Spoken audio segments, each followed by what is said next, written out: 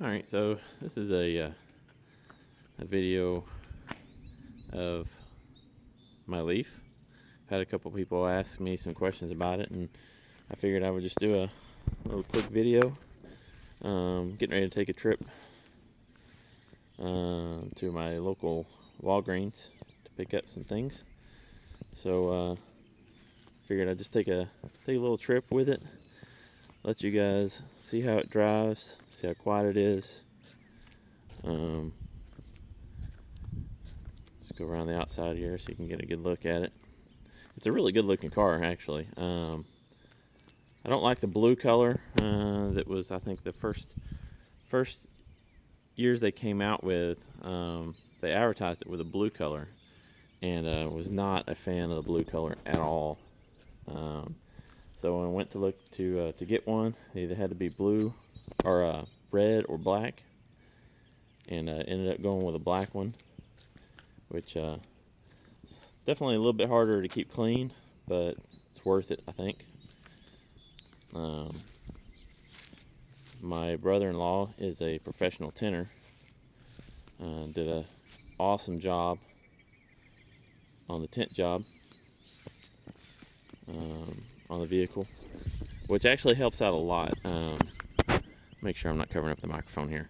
Uh, which the tint job actually helps out a lot because um, obviously when you're running the climate controls on the vehicle, you're using battery as well. So uh, although you can turn on your climate controls uh, remotely when it's plugged in, um, when you're going down the road, if you turn them on, you're obviously going to lose some some range. Not much, but we will lose. You will lose some range. So the tint job is actually uh, a uh, a, good, a, a, actual useful addition. So, uh, but anyway, I'll uh, jump in the car here, and uh, we'll start it up and take a trip down the road. All right, so I think you can, I think you can see there. Um, it is a keyless uh, start, just as long as you got the fob in on your person. Um, you can just get in it and push the, uh, the start button. Gives you a nice little tune. Starting up, you can actually change the uh, the startup sound um, in the settings if you so desire. Um, right now it's uh, right now it's shipped full charge um, got 78 miles. If I were to turn off the the climate control, it automatically goes to 80 miles. Um, but it is a little warm, so I'm going to turn on the the AC. And uh, stick in reverse. It has a I don't know if you can hear it or not, but it has a little chime, backup chime.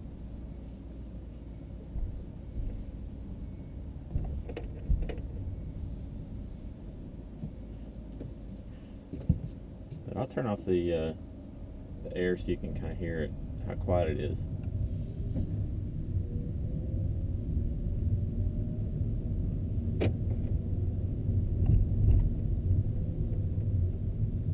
Extremely quiet, extremely smooth. Um, I've got an eco mode right now, which basically, from what I've been able to tell, the eco mode, which is button right here, um, really the only thing I, it seems to do is it basically halves the amount of acceleration the accelerator pedal gives. Unless you just absolutely floor it, it'll give full power then, but pretty much the other 80% of that range is just halved um, compared to what you would normally get with the eco mode off. Which eco mode does help you um, as far as the range goes. Um, so like, and and the, the range automatically adjusts as you drive it, your driving style. Um, like right now, um, it's already jumped up to 85 miles an hour or 85 mile range just because I'm in eco mode and I've got the air off. If I were to take it off eco mode, and turn on the air, it drops down to 78 mile range. So it automatically adjusts as as you're driving it. But in general, I keep it in eco mode keep the air off. Um, you know, I can roll down the windows if I want to let a little air in, um, but I won't do that now just because the, the video will probably be a little bit louder. But overall, the car handles really, really well. Very smooth. My wife has a Prius. Um, it's it's definitely has a little bit has a much more solid feel to it than the Prius. Um, the the battery packs are lined along the bottom of the vehicle, so it gives it really low center of gravity. So it, it feels like it's it's it's stuck to the road a little bit more um, when you're going into curves and whatnot. Um, but just to, to go over some of the features of the uh, the navigation system, it's got an AM, FM, XM radio. Um, you can set up your, your different stations that you like. Uh, CD, uh, so that tilt open so you can access the CD player. And uh, an auxiliary, there's an auxiliary port down here. Uh, there's a USB port and also a mini stereo DIN. Uh, now I want to show you. This is one of the things that I did not expect with a with an electric vehicle. I'll take off the eco mode so that I'll have full power um, to the vehicle. This is one of the things I did not expect for an electric vehicle. I didn't drive one of these before I bought it, but pickup on this car is actually quite decent. There's nobody coming now, so will be pretty much at, at a dead standstill. Um, it's, it's actually impressive for an electric vehicle.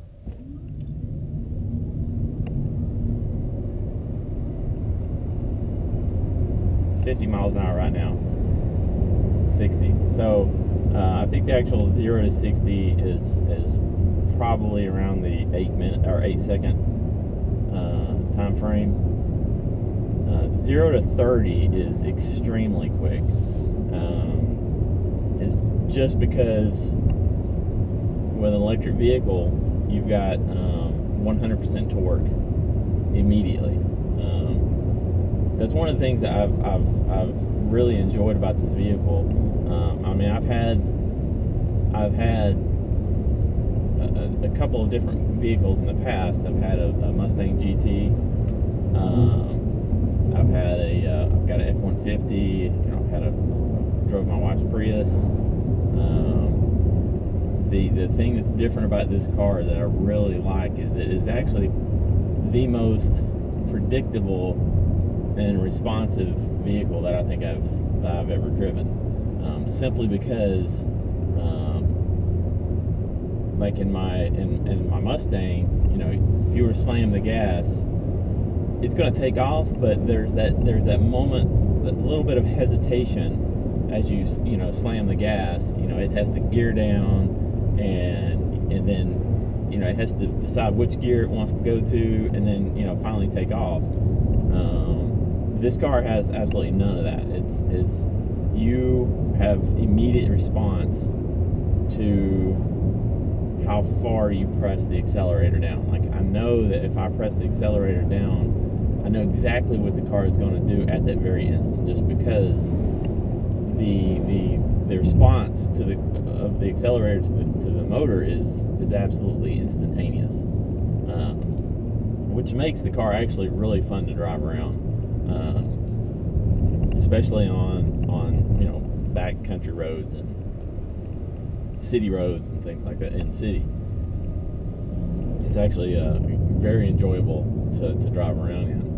Um, now, one of the things that you know they advertise the Leaf as having a 100 mile range, which I'll be quite honest, if you drive on, if you drive the car more than 55 miles an hour um, at any point in time, you're not going to get a 100 mile range, or you're not going to get anywhere close. Um,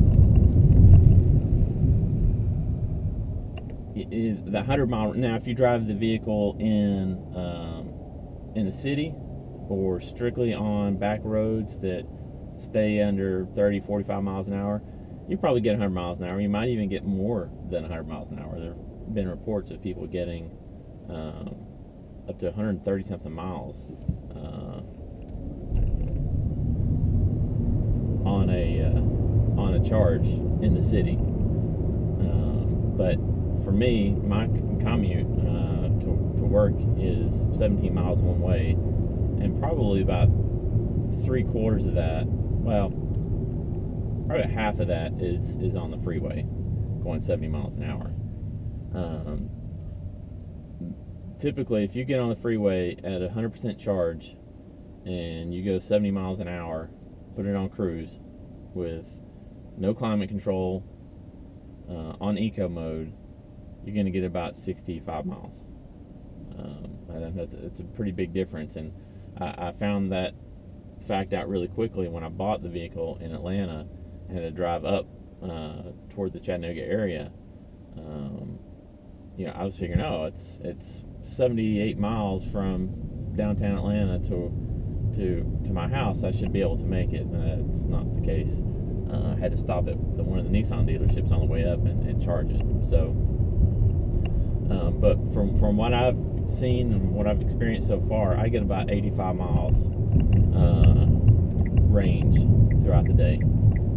Um, but anyway, I'm uh, pulling into Walgreens here, so uh, I'll cut it off here, and uh, on the way back, we'll talk a little bit more and uh, go from there.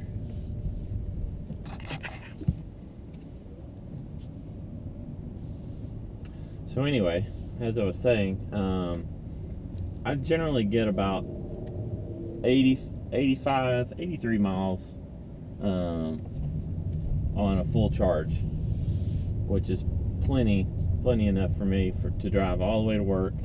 Um, if I want to leave work for lunch and uh, head head head out and get something to eat, come back to work, and uh, and head home. I generally have probably about 35 30 miles left on uh, on range when I come back. Um, but your driving style definitely will affect that. And if you're driving, you know, in off eco mode, you know, slamming the accelerator everywhere you go, going 80 miles an hour all the time or faster, um, your range is going to be pretty terrible. I mean, the car is not designed for for that kind of driving.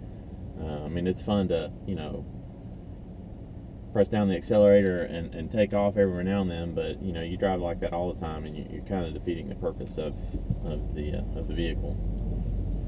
Uh, but I guess if you're driving around in the city, you know, 10, 15 miles a day, you can drive like that and be perfectly fine. Um, I don't have a 240 volt charger at my house. I'm actually just using the 120 volt trickle charger. Um, so far, that's been adequate. Um, the the closest um, I've ever come to it not being adequate is I actually came home one day and had about 20, 23 miles of charge left or of range left in the vehicle, and um, went to plug it in on the trickle charger and got about at, at probably about 7 o'clock that evening. I leave work for 8 o'clock the next morning and it was at 97%, so it still wasn't fully charged uh, even after sitting there on the trickle charger for close to 13 hours. They say at a at an empty charge, empty battery, it takes close to 20 hours to charge it um, full full charge at 120 volt. I, I don't know this. It's my it's the theory I have, but I'm actually using a 20 amp um, plug in my garage to charge it up, and it seems to charge a little bit faster than what it says it's going to. Like it'll it'll tell you when you plug it in, it'll tell you oh it's going to take 30 minutes to charge with 480 volt, an hour and a half with 240, or 13 hours with 120 I tend to run about two hours, two and a half hours less uh, than that 120 volt uh, estimate. There again, I don't know if it's because I'm using a 20 amp uh, outlet or or not. Most people are going to have uh, just a 15 amp outlet for the 120 volt. but I don't know. That's that's what I have observed. Um, I would like to get a 240 volt outlet installed. However, I just um, you know it's about a thousand bucks just for the actual equipment. Uh, if you want to get it professionally done through um, through Nissan's provider, I forget what the name of the company is, but they charge two thousand dollars to come out, rewire everything, create the 240 volt outlet, install the charger. Um, so a pretty good chunk of change. That I'm just seeing how feasible it is just to get by with the 120 volt charger. Uh, so, like I said, so far it's it's uh, it's done really well. Uh, there, there are plenty of people out there on the internet, and there's places that you can send your 120 volt charger. You can send it off to these companies, and they will actually rewire your 120 volt charger that you get with the car in order to accept a 240 volt outlet. Most people have a 240 volt outlet in their house, either for the dryer or their stove or something like that. Um, and a lot of people either tie into that circuit or they have a splitter uh, and run it to their garage. Um, and I think that that service costs around 300 $400 to do that. However, you know, you void the, the warranty on your actual trickle charger. Um, so if anything goes wrong with it, you're, you're kind of out of luck. And those things are not cheap at all. Um, to order another trickle charger, it's probably around seven, eight hundred dollars for a 120 volt trickle charger. So um, I have a friend of mine who actually bought a Leaf um, about a week before me, who uh, he, he's actually doing the wiring himself to, create the 220 volt, uh, 240 volt uh, outlet, and he's buying the charger from I think a user on the, the Nissan Leaf forums and going to install it. And it, I think it cost him around seven, eight hundred dollars to do that. So I'm going to let him be the guinea pig and let him see how that works out. And if it works out okay, I might do that as well. But anyway, back to the, the, just the driving of the vehicle. Um, it does have regenerative um, braking. Um, it actually has a braking mode to it, uh, kind of like if, if, you're familiar with the Prius, it has a, a braking mode.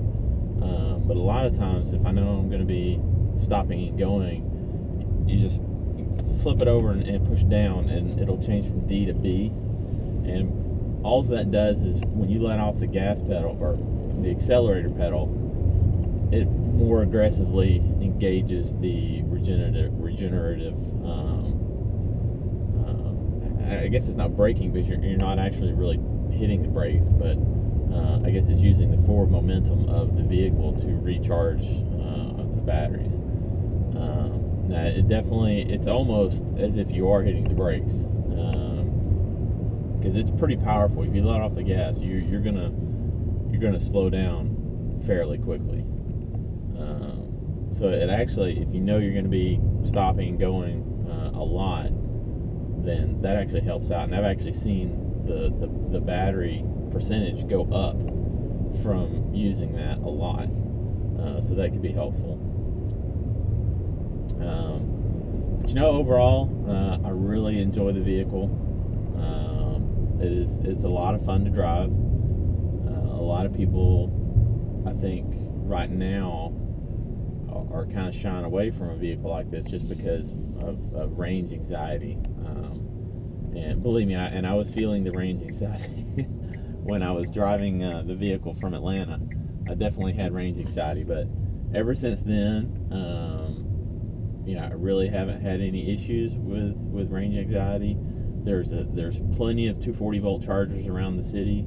Uh, there's even a couple of uh, superchargers, uh, 480 volt chargers around the area. Um, so if I'm out somewhere and I'm in I'm in that area, you know, I'll stop in a supercharger, sit there for 10 minutes, and you know, get 50% of my charge back. So, but overall, the I really like the vehicle. It's a lot of fun to drive. if you drive the vehicle for you know what it was designed for, and you know it's within the range of the vehicle, then I think it's an absolutely excellent choice.